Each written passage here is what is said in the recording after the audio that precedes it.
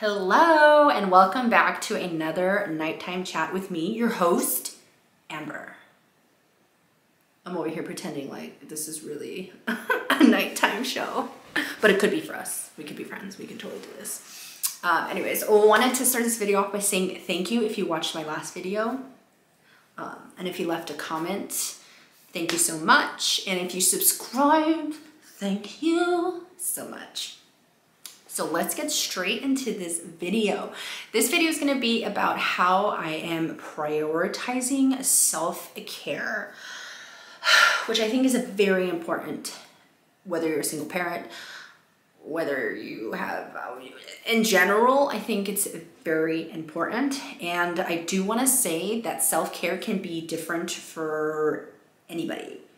Whatever my definition of self-care is, could mean that someone else thinks my definition of self-care is not self-care. So everybody's idea of self-care is completely different. So this is just my opinions and what I think is self-care and what I like to do for myself.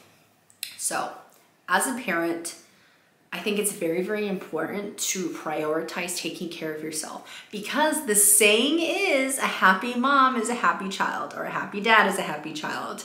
And that statement could not be truer, I'm just saying, because if you feel like crap on the inside and if you're not taking care of yourself, that's gonna reflect, I feel like, on the outside. And, you know, I feel like if you're neglecting yourself, then I, I mean, it's I've been there where I've neglected myself and just just putting myself on the back burner is so hard while trying to take care of another cute little human baby child.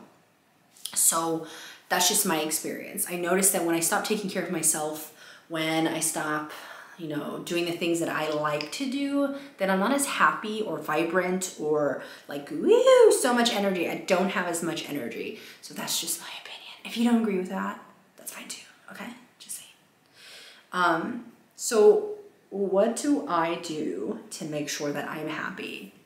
Because like I said, I notice when I'm happy and well rested, then I am so much better as a parent. I'm more present.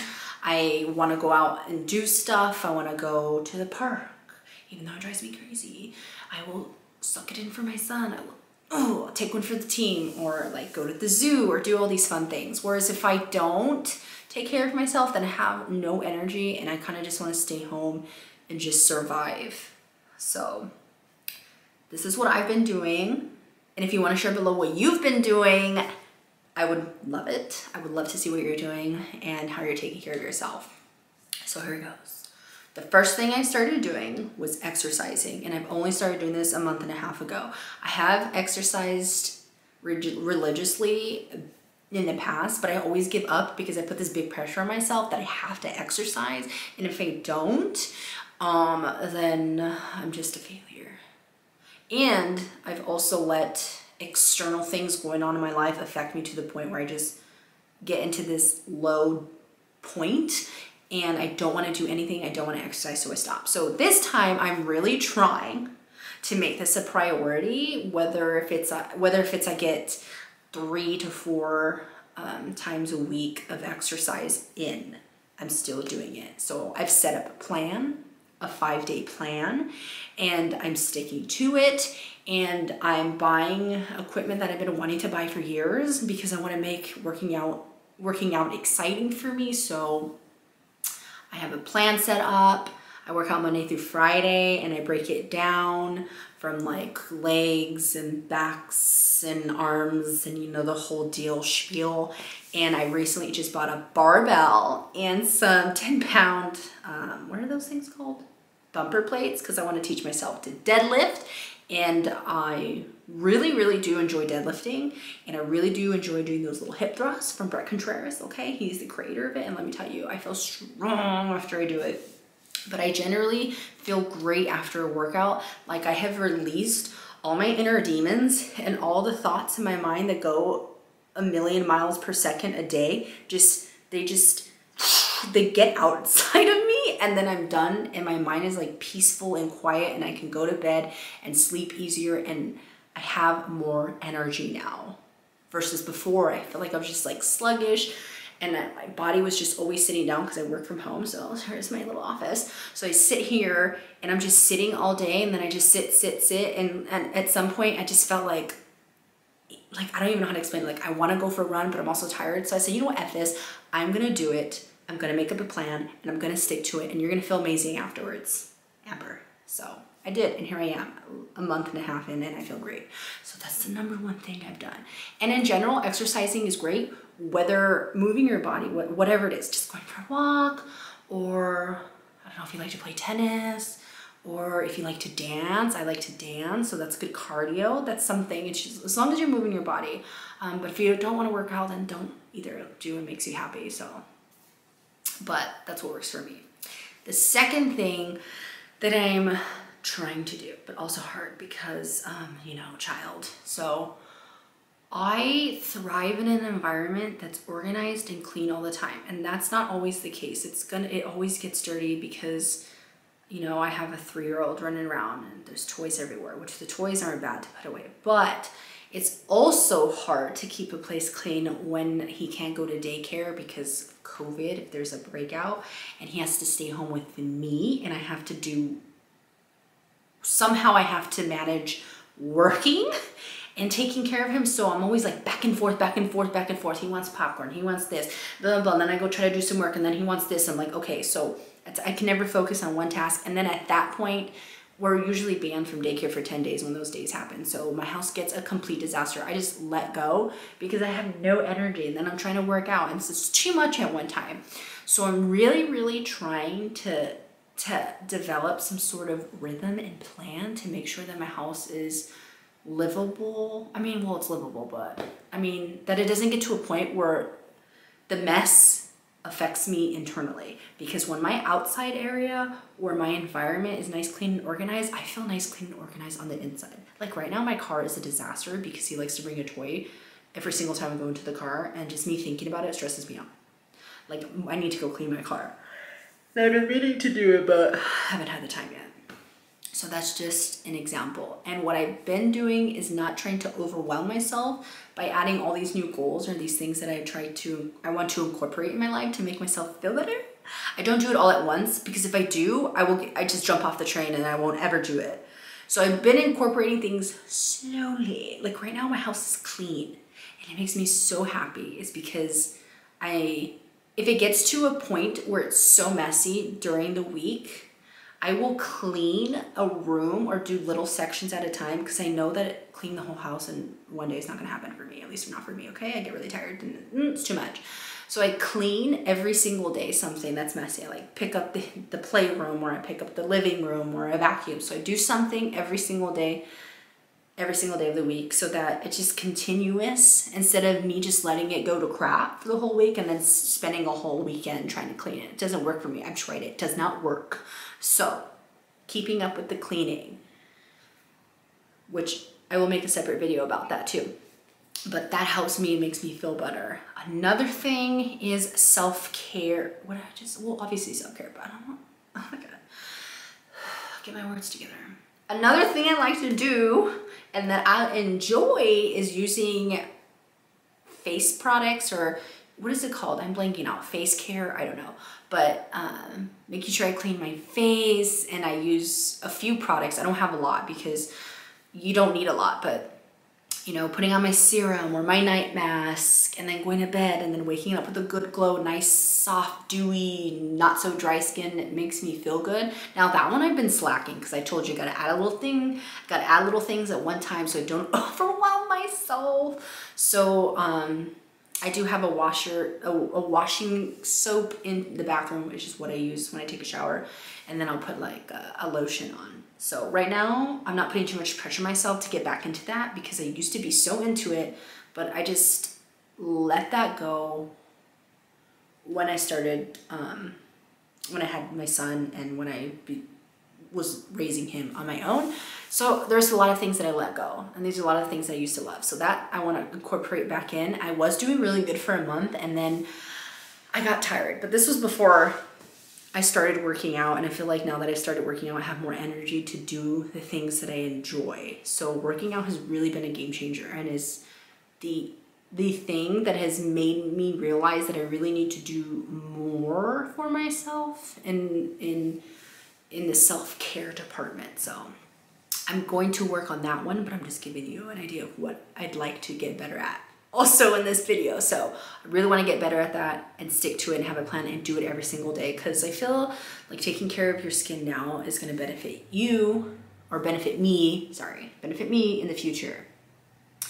Another thing that I enjoy doing, but I never really had the energy to do it. It's like a vicious cycle. I'd never had the energy to do it a lot because I I just was always tired. But now that I've started exercising more, I have so much more energy. It's great. So, another thing I do enjoy is going out and exploring the world, which I would like to do more of. And I'm also trying to to do more of it, but unfortunately, I just do not thrive in places that have a lot of people. And so I get really stressed out easily. So I like to do things early in the morning. So like for example, tomorrow we're gonna go to a zoo. And I said, I really wanna go, I really wanna get out of the house and walk around and get my body moving, but we're gonna go right when it opens because I want to avoid the crowd. And so we're gonna stay there for a couple hours and then leave once it gets too crazy. But I really do enjoy being outside in nature. I I really do. It's so peaceful and especially I, I, I love doing it alone, but I can't right now because you know, my baby. It stresses me out though when we go out to these little things. Like one time, I know this is going off track. One time we went on this little trail up in the mountains and he was like, he just wanted to go and run around and, you know, be his own be his own vibe. And I was like, you can't because there's no rails. And I was like, I was so afraid that he would like slip and fall. So I'm holding his hand the whole time and he was like screaming and throwing a tantrum. So it's like, I like to do things where it's not really toddler safe, so I can't do those things right now. So when he's a lot older, I cannot wait because he'll listen to me. and then we can do some more outdoorsy stuff. But right now we do toddler friendly outdoorsy stuff, whether that's going to the zoo or walking around the park or like going to little shopping centers or nice little trails that I found where I live. We have found some of those.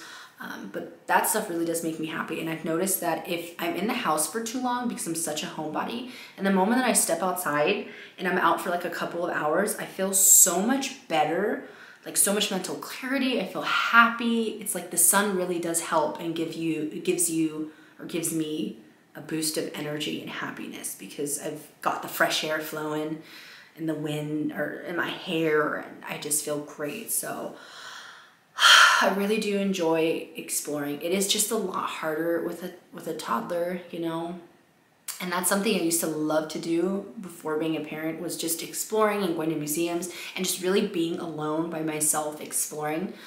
And I feel like I could do that more. I would have to get a babysitter because I'd like to do that. It's nice sometimes and it's always good, you know, to do things separate from your child, I believe. I mean, if you don't, then that's fine because sometimes parents need alone time, okay? And it's good and it's healthy and it's better for everybody. But that's one other thing. I'm trying to see if there's something else. Uh, uh, uh, I mean, taking a shower every day, I do that because I work out. Like, I feel like I should shower two times a day, you know. Because I work out, you gotta take a shower, which actually showers do make me feel so much better. Like if I, there are days where I just get in this little funk and I don't want to do anything and I go, okay, Amber, get your a get your booty butt up, okay? And I go take a shower and usually after I take a shower, it feels I feel so much better. I don't know what it is. Maybe it's like the water or just rinsing your body and all your worries away. I feel so much better. So I mean, that's that's something that everybody should do every day, you know, because you gotta stay fresh. But to me, sometimes it's very therapeutic taking a shower. Um, I really, really do want to do some things that I haven't gotten around to it. So those are things I'm trying to do now. The things that I really want to do and get back into would be painting or drawing or getting into the artsy world of things like I used to. I mean, I, I was learning in college and I was like, wow, this is fun. And I feel like if I would have continued that, that hobby, I could have gotten pretty good, I feel like. Um, I'd like to do that, but right now I just don't have the motivation. Or maybe I just don't feel like I enjoy that anymore. But I did buy the stuff for it. I bought like all this stuff to do it and I haven't. So we'll see. I'm gonna take it day by day, right? Can't can't add too many things. And then another one I want to try is loom. Is it looming? Loom. To buy a loom and to make like my own scarves and sweaters because I'm a, I'm a pretty quick learner when it comes to stuff like that. So I feel like once I get in a hang in it and I'm the, the hang of it, once I get the hang of it, I don't know what I was saying. Once I get the hang of it, I get in the groove, put on some bomb music, some Michael J or something, and just roll out a scarf or something. I feel like that would be so cool to make something on my own. Um, so that that's my form of self-care. Those are just a few ideas, right? Because self-care can be something different. Like someone might think that drawing or art or trying to learn to loom is not self-care, but to me, okay?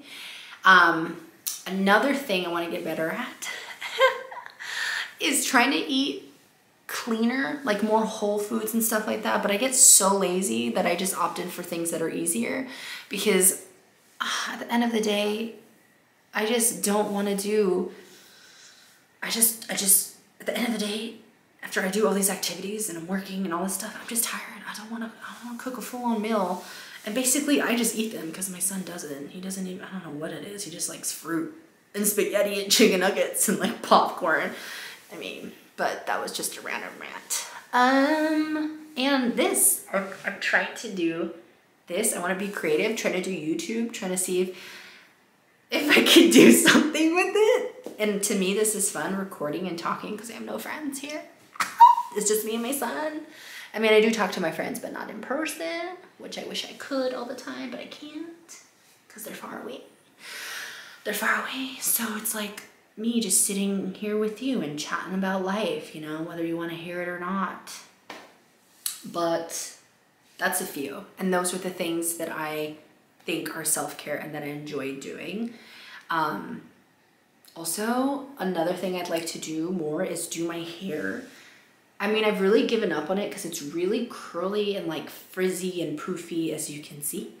I would love to do my hair, but I'm just so lazy. But I noticed that when I do do my hair, I feel so much better. I feel like confident and cute and like ready to take on the world. But like right now, I, I, I this is not something that I'm really um, interested in doing right away. So I'd like to do that. See I have a lot of goals here. a lot of self-care goals, which is good. That's it for today's video. I really do hope um, that you take care of yourself, you love yourself, that you make yourself a priority, and that you figure out what you need, and you make a plan, and you do it, and you know, continuously do it because I'm gonna, I'm, I'm gonna tell you this right now. It is okay. It is okay to put yourself as a priority and to take care of yourself if you have a child, okay? Just saying that, okay? If you need to go away sometimes and go on a vacation for a couple days, don't feel guilty, okay? You need the rest. You need the rest. I'm gonna take my own advice because I'd really like to go on vacation on a vacation by myself and just send out. And then when I come back, I'm ready to tackle it. I'm ready to tackle H4. H4. All right, that was it for the video. If you like this, please um, subscribe. If you don't, you don't have to subscribe if you don't want to, but I'd really appreciate it. You can leave some comments of some things that you do or your story of what you're getting back into, what you want to do for self-care, you know, sharing some tips on how to deadlift. You can share that with me. I would love it. And that's it for today's video. Thank you for sitting in with me on our late night chats here. And I hope you have a great day, night, whatever you're doing right now. And that is it.